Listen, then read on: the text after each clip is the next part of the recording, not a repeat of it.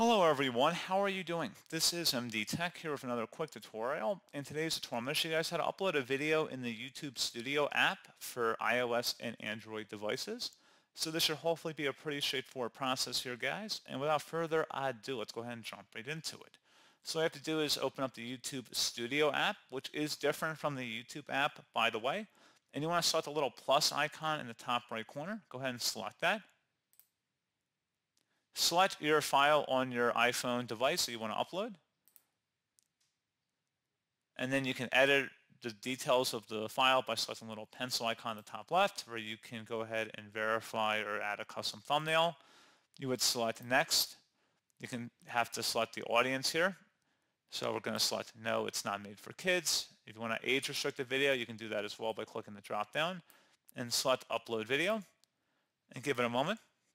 Depending on how large the file is, it may take some time to process in here.